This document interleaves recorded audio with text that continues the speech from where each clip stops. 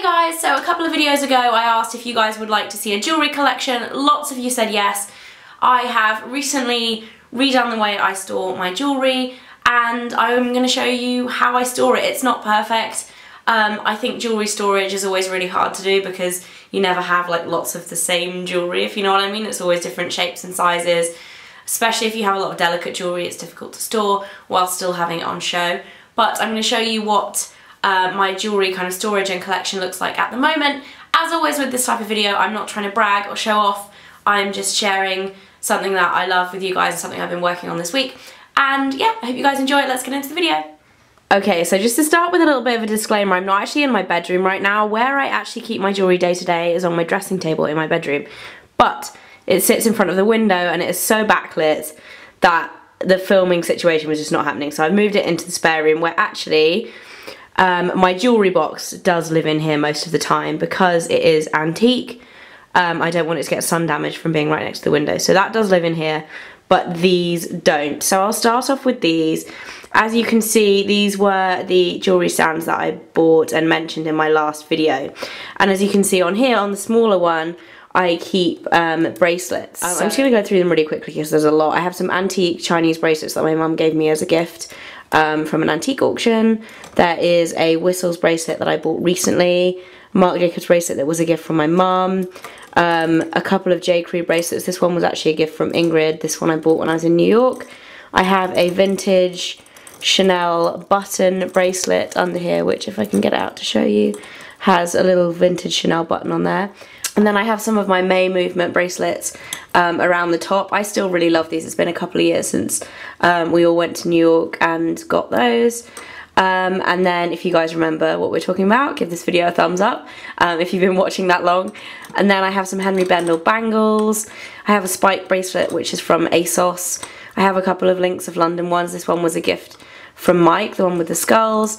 Um, and then these two actually the strawberry one was a gift from Mike as well I think and then this one was a gift from some of my friends and then I have um, some Zara chunky chains which I bought fairly recently too. So they are all of my um, kind of costume bracelets I would say. And then moving on to the bigger stand I have um, a selection of like my chunkier necklaces. So to go through them really quickly this one um, I actually bought in LA in December from a brand called Lily Clasp, which I really love. This number's from J. Crew. This was a gift. I really like that one. This is from Aurelia at Topshop. Um, Forever 21. This is from Ingrid's line for BaubleBar. Um, this is another Forever 21 chunky chain.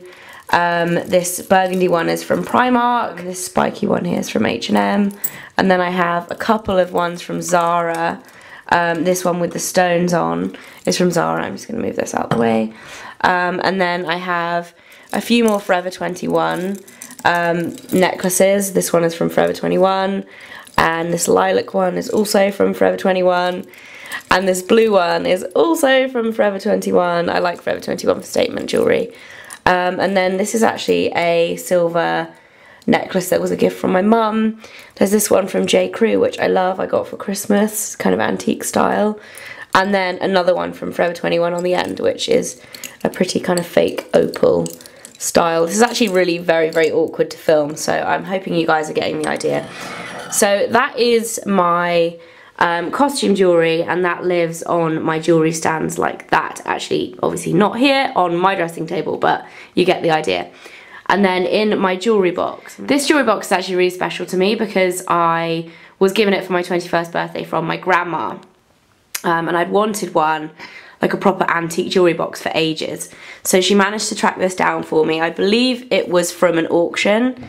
It may have been from an antique shop, but I believe she got it at auction. Inside there is this really lovely velvet um, kind of top compartment and it has, if you press up here, it has a secret compartment in there with a mirror and it also has um, a little um, area for um, keeping secret documents. I actually keep um, a card from my grandma which I got with this and there's also um, some writing I believe um, this came with the box when she bought it so it's like an old letter and something else either way, I'm keeping it in there because I think it's nice um, to keep that little bit of history together from the original owner of the jewellery box. And then I've actually brought this down onto the floor so that I can show you better the interior of the box. And as you can see on the top there is a tray with lots and lots of different sections and lots of different jewellery.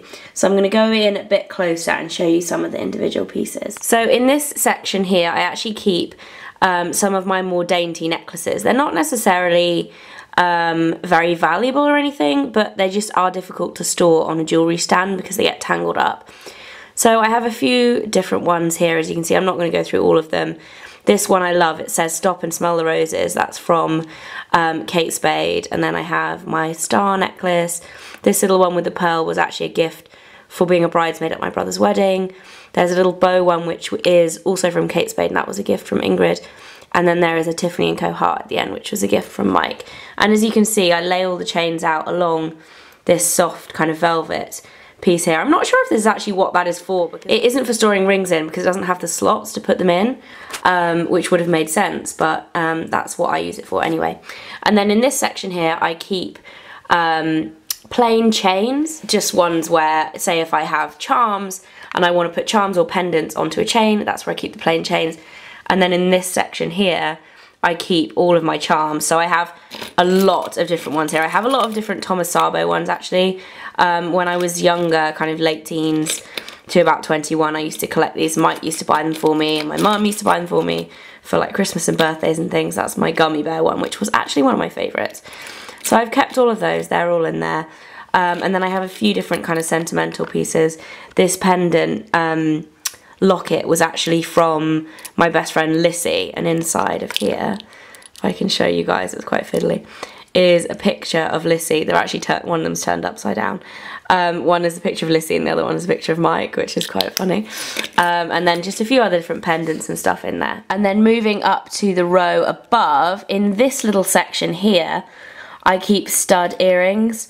Um, I don't actually have very many because I don't change earrings very often um, but that's where I keep a kind of general selection of studs.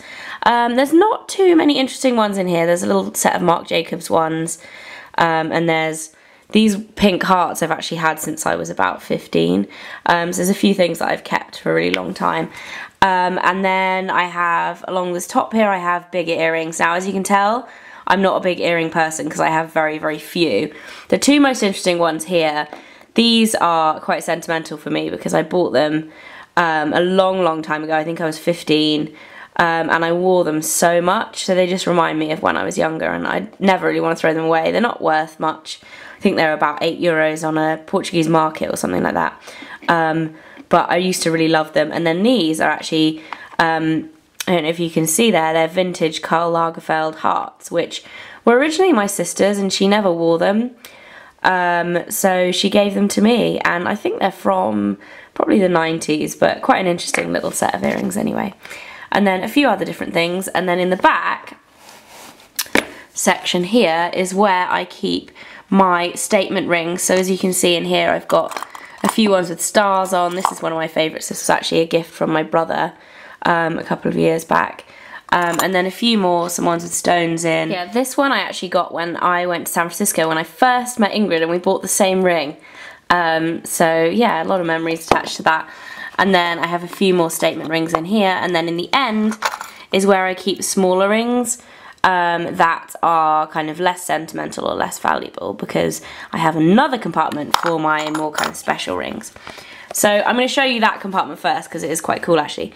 There's this little knob here that when you pull it, there's a secret, this is why I love antiques, there's a secret compartment under here and this is where I keep uh, more sentimental pieces, slightly more valuable items, but not ridiculous. And um, yeah, so in here I keep um, my silver bracelets. Most of these were actually gifts um, for either my 16th or my 18th birthdays. This one in particular was um, a gift from my brother for my 16th birthday. Um, and I loved this because he actually chose it himself and I was like so happy that he'd made the effort to choose it himself. Um, yeah, funny things like that that you remember. And then also this one is quite sentimental too. This is my charm bracelet. And a lot of these charms I've actually had since I was probably eight or nine. There's one in particular that my grandma bought me. um, which is this one with knives and forks on it. I don't know if you guys can see that. Um, but yeah, that I have had for a very, very long time and I love it. So that's where I keep my silver bracelets. I went through a phase when I was about um, 16, 17. I used to wear most of these like every day. So I used to have tons of bracelets on. And then next to my bracelets, I keep my rings. And these are a selection of different kind of cocktail rings um, and technically costume jewellery, but they are like semi-precious stones. My favourite one is actually this one, um, which is a star with little diamonds in it. That's um, antique that my mum gave me. And sadly, it's actually missing a diamond, which is why I don't wear it much anymore. Um, I need to get that replaced at some point. And then in the middle here is where I keep um, my diamond earrings. These are um, little flowers that um, I got given from Mike one Christmas and then there are some little star dangly ones that I got given from Mike another year as well. And then I also have a spare belly button bar in there, which I didn't know where else to keep it, so it ended up in there. And then next to that, I keep um, my pearls. This is a string of black pearls I got from being a bridesmaid at my sister's wedding, and then this is just a um, little pearl bracelet as well. So those kind of slot back in there. I don't think it's any particular um, security from burglars because if they were going to steal uh, my jewellery, I think they would just take the whole box. Um, but either way, it's nice to have that little kind of security. So that is the top layer. And then, as you can see here, I'm going to try and do this one-handed. Um, this little shelf comes off. And here is where I keep all of my watches. So I have an Armani one that I had when I was 17, I think. I used to wear that all the time. I used to have an orange strap, but it got so dirty that I had to change it. I have my rose gold Links of London one, Swatch one. This is an antique pocket watch that my sister gave me. Um, I think it was for my birthday, either last year or the year before. Um, this is a ToyWatch, uh, Jacobs one, uh, Michael Kors one, and this one is from Juicy Couture, which I got when I first started YouTube. And then I also have in here this funny thing, which is um, a necklace or a bracelet and you kind of mould it into whatever shape you want. It kind of is all kind of folded up now, but um, and I had that when I was about 16. I used to wear it all the time and I don't want to kind of get rid of it because I really like it still. And then there's also this tiny little silver clutch bag in here. This was a gift from my mum this Christmas actually. And it is from 1913. My mum finds all sorts of exciting, interesting things um, at antique auctions and this is one of them so that is quite precious. So that's it for my jewellery collection. I really hope you guys enjoyed it. Don't forget to subscribe to my channel if you did and I will see you in my next video. Bye! With another in my top 10 under £10 series and this time I'm going to be talking about blushes due to a lot of requests from you guys